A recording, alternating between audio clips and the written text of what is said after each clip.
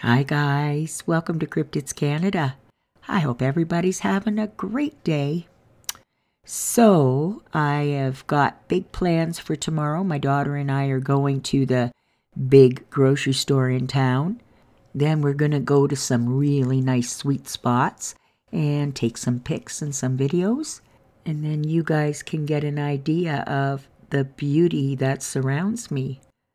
Honestly, guys, I don't know if it's because I'm older and I've learned to appreciate certain things, but I feel like this world has got so much more to offer than I ever gave her credit for. Um, take a look around you, you guys. Start appreciating, you know, what you're surrounded by because uh, I think it helps you to be in a better place mentally. That's my opinion, anyways. Okay, enough of the jibber jabber. This story was really, really good. It's titled Another Bigfoot at the Cabin Story. That that was funny. Okay, also, you know how I said I was going to stop reading out the personal compliments that people write in the beginning of each encounter? Well, this one was to you guys, most of it. So I'm going to go ahead and read that one. She starts out uh, Hello, CCC. Before I start, I've really never thought I would tell my encounter. I was always afraid of people picking apart my story. I have grown to love several channels, but I have absolutely fallen for the followers on this channel. I enjoy the comment section as much as I have fallen for Leslie. Now, honestly, Leslie, I, like everyone else, find your voice to be something very special, and I would hate to not have you to listen to. And she just goes on about, you know, sticking with it and so on and so forth. But I actually found it really nice that uh, you guys got a nice compliment like that because you really do deserve it. Okay, so back to the encounter. So, she says, we had a small cabin north of Bella Coola, BC. Our fairly small family spent as many hours as we could at the cabin. My parents were always trying to repair it and make it as comfortable and updated as possible. Dad worked with a fella, Enrique, who loved carpentry. His wife had died, and he was left to raise a son about my age all on his own. So my parents took pity on him and his son, of course, and started inviting them up to the cabin with us. Anyway, he started working on the cabin as his way to repay my parents, I guess. I was fine with it because Peter, the son, was about my age, approximately 10 years old. So now I had a friend besides my younger brother to play with. Dad and Enrique started working on a bedroom addition, so Enrique and Peter started sleeping in there as they worked on it. Peter, the son, started waking up and screaming. He kept saying there was a monster looking in the window. Finally, my dad talked to Peter's dad, Enrique, and said that Peter could sleep in with my brother Greg. There was bunk beds in there, and Peter felt safe right away. As I recall, it was really hot out, probably mid July. We had all the windows open, so it was more comfortable for sleeping. No air con at the time. Unfortunately, Peter was spared only one night of peace, because the next weekend that they came up, Peter took the top bunk and my brother was on the bottom because he was much younger than Peter and I. Then again, we were all woken up by Peter's screaming holy terror. My brother came running out fast and told Enrique and my dad, who were chatting at the kitchen table. He said he heard heavy breathing coming from the open window. He said he looked back at the window and saw a big black hand rip open the screen and then reach in and start feeling for Peter. My brother was only five at the time, so the dads were skeptical until they heard Peter start screaming. Both fathers ran as they heard Peter scream, and they saw the arm slide back through the hole in the screen. They pulled Peter from the top bunk, and Peter told them his story. He said that he had woken up and he said he felt something rubbing his head. He turned over and saw the monster standing at the window with its arm coming through the screen. Then he started to scream. He begged and pleaded to his dad to please take him home. They left the next morning, and we didn't see either of them again till fast forward 15 years. My dad had passed away from cancer, and Mom had no desire to go to the cabin anymore. But Greg and I would use it all the time. We would invite our friends up and swim and ski and ride our snowmobiles and pretty much just party. It was mainly drinking, occasionally a joint, but never hard drugs. My best friend, Shaylin, was going on and on about this new fella she was seeing, and she was sure he was the one. So I told her to bring him to the cabin so we could meet him. She asked if it could be just the four of us me and Steve, my fiance, and her and the new fella. So I said, sure, no problem. She didn't want him to be overwhelmed. Well, my brother Greg ended up coming up as well. He walked into the cabin and said nonchalantly that Shay and some guy were arguing in the driveway because he didn't want to stay. Then Greg said he thought it was that kid Peter who used to come up, the one who saw the monsters. I was dumbfounded because I wondered whatever happened to him. So I went out, and sure enough, it was Peter. After a warm, welcome hug, I was able to convince him to come in and at least talk about it. It was only 7 p.m. and still light out.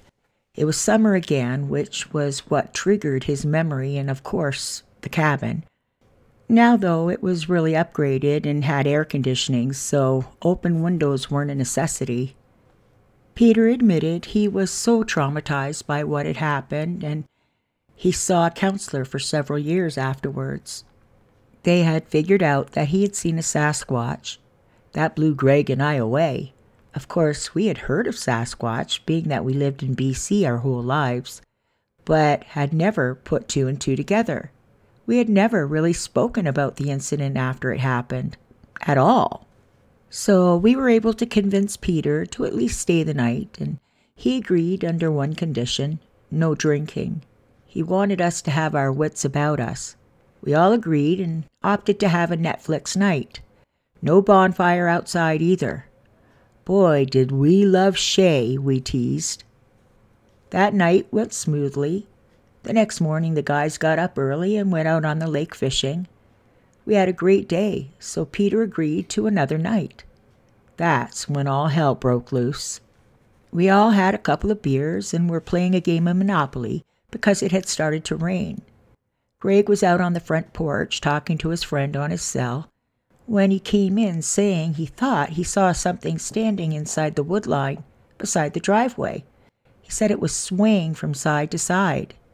Then mine and Steve's pit bull, Softy, started shaking and trying to squeeze under the couch, which he had never done before. Peter started losing it. He said it was a Bigfoot. He had learned enough to know that what Greg described was indeed a Bigfoot. At that point, we all started to panic. We went around and turned off all the lights and locked the doors. We were all freaking out, to be honest, but none of us were leaving. Steve and Greg went upstairs to see if they could see anything, and sure enough, it was standing right where Greg had seen it earlier, and it was still swaying side to side and it was still moaning sadly. Greg whispered to us to sneak upstairs very quietly so we could see the Bigfoot without being detected. We were in shock, watching this thing standing in the soft rain and swaying side to side. Then it stepped forward as it was staring towards the front porch where Greg had been. Then, even though it couldn't see us, it looked straight up at us, then screamed a shrill sound, then pulled a branch down and tossed it towards the cabin. Then it took off running back into the woods. There didn't seem to be any anger at all. It looked like she was more shocked that we were watching her without her knowing. And yes, she was a she. She had large breasts that hung down to her waist, she had orange colored hair and she looked just like an orangutan, but much taller. She had long hair that flowed from her arms and long flowing hair off the rest of her body. Her face was gray in color. Her eyes were deep, deep brown in color, but looked to be shaped like a child that has Down syndrome, respectfully.